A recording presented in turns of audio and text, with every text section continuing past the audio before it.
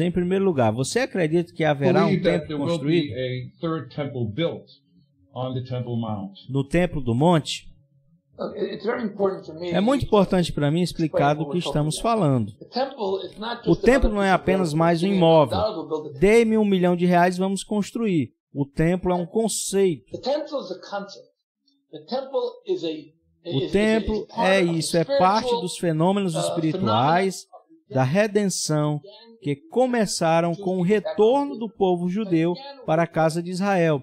Se eu começasse antes de falar sobre o segredo, o segredo de Deus e a conexão com o povo de Israel, qualquer um abrir o livro entende. A nossa sobrevivência é baseada na aliança que Hashem fez com o patriarca Abraão, o Deus e o Deus e Deus promete a ele e a decisão de Deus de descansar seu divino, né, sua presença divina no monte do templo, Fon- fonte na qual a fonte da nossa aliança, né? Lembrando que a gente já trouxe aqui numa live anterior que foi ali no monte do templo, provavelmente no lugar onde está ali a mesquita de Omar, onde Abraão iria sacrificar o seu filho Isaac. É ser uma bênção para todas as nações o templo. Como eu disse, o monte do templo é um lugar que deveria servir como uma casa de oração para todas as nações. Olha aí quem está falando é o Rabino Yehudá Glick, está aqui no cantinho esquerdo da sua tela aqui. É suposto ser uma fonte da palavra de Deus para todas as nações. Deve ser um lugar onde a palavra de Deus vai para o mundo. E este é o conceito quando. Quando Isaías falou sobre retornar ao templo. Agora, para retornar aos mortos e transformá-los em uma casa de oração. Todas as nações em seus tempos, toda, todas as nações eram adoradores de ídolos. Jerusalém era uma pequena cidade, onde não havia trens ou ônibus. E ninguém poderia vir em Jerusalém, mas ele disse que as nações iriam vir. Como ele se atreveu a pensar em tal ilusão? Que as nossas nações em todo o mundo estariam interessadas nessa cidade negligenciada? Bem, a resposta é muito simples. Abrimos nossos olhos hoje e vemos isso acontecendo.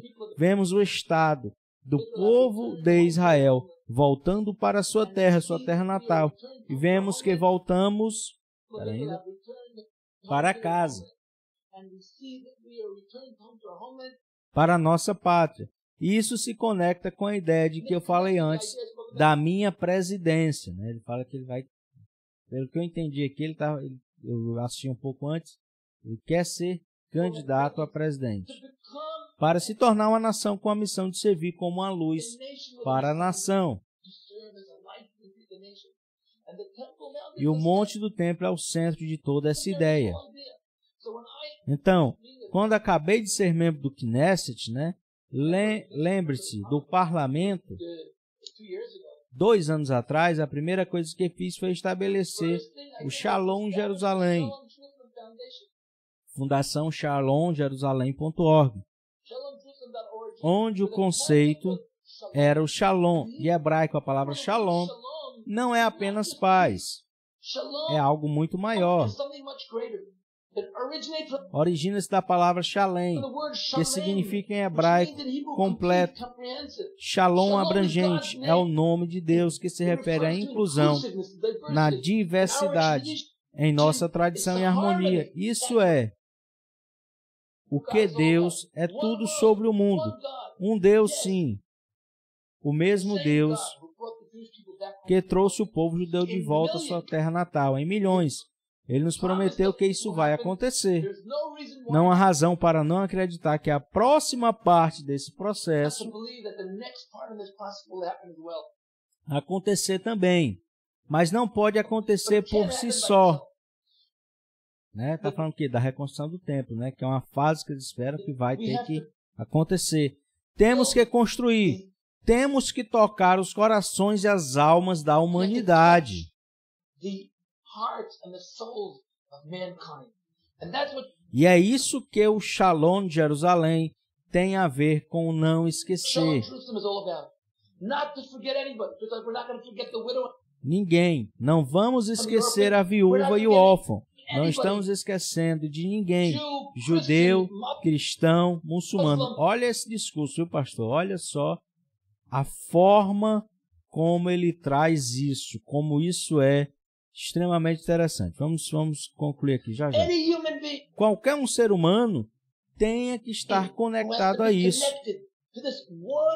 Um mundo, um Deus da harmonia. Shalom que é Deus. Então você so está dizendo of, que a the, essência de um templo, de um templo a a ou novo potencial templo é antes de mais is- is, nada a espiritual, algo dinâmico que tem que acontecer dentro do povo de Israel na preparação, ou seja, ele está dizendo aqui muito claramente, não é só você chegar, constrói um prédio. Construir um prédio é fácil. A questão é preparar o povo e as pessoas para abraçarem essa ideia, né? Abraçarem essa causa. Uh, Mas ainda assim eu lhe pergunto, Rabino, that Você vê isso?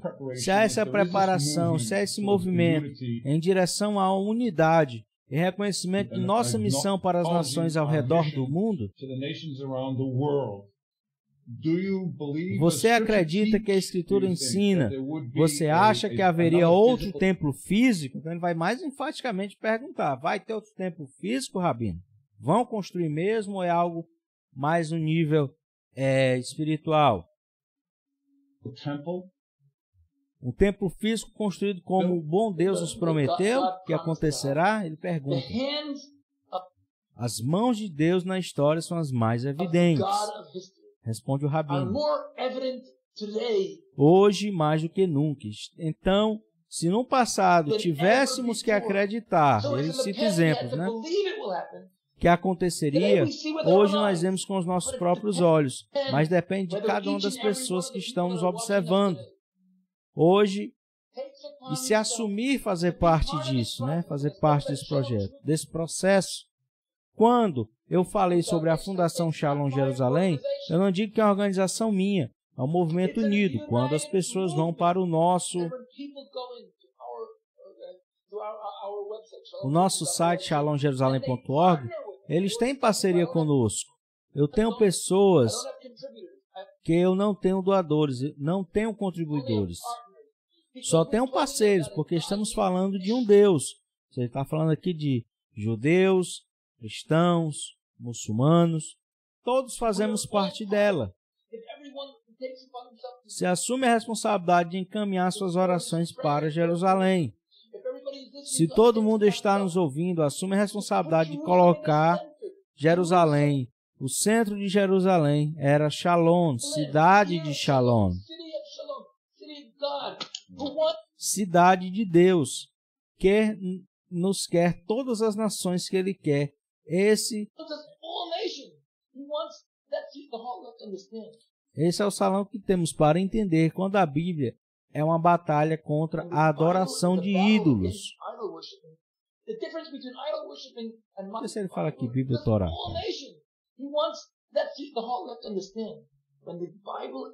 a Ele fala against Bíblia mesmo, né? Não fala nem Torá não, viu? Bíblia. Entender quando a Bíblia é uma batalha contra a adoração de ídolos, ou seja, na visão dele, do rabino, cristãos né, não seriam idólatras nem com, com a questão da trindade, que alguns poderiam dizer que sim, e há muita polêmica, mas na visão do rabino, todo mundo adora um só Deus e a Bíblia também, enfim.